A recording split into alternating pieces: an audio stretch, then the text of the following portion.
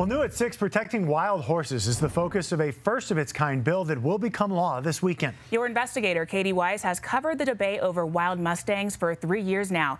Kati found this could serve as a model for other states across the American West. These helicopter roundups of Colorado's Mustangs have faced controversy for years. The federal government spends millions of tax dollars to remove them from the wild and send them to holding facilities. Activists feel the copter roundups are cruel and can lead to horse injuries and deaths. The feds say the roundups are necessary to manage the rangelands and protect the forage, but Colorado's Mustangs share the range with private ranchers who rent the land for their sheep and cattle to graze. So the bill passed here at the Capitol aims to find a solution that'll work for everyone.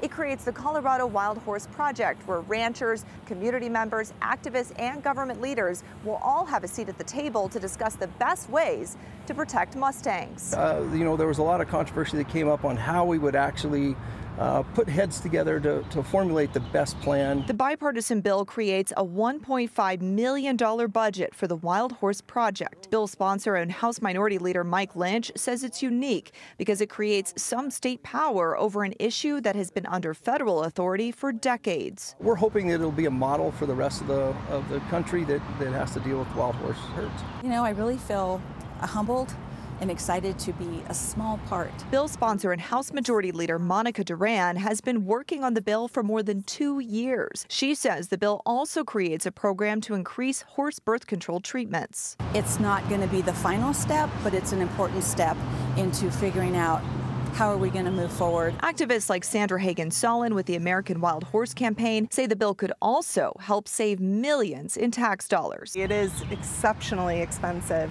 to house these horses once they are off range. And so we do see this as taxpayer friendly legislation as well. Colorado's wild horses are so special and we want to ensure their longevity, their sustainability um, for the future. Governor Polis' office says he will be signing the bill Saturday in Grand Junction. At the Capitol, I'm Kati Weis, covering Colorado First.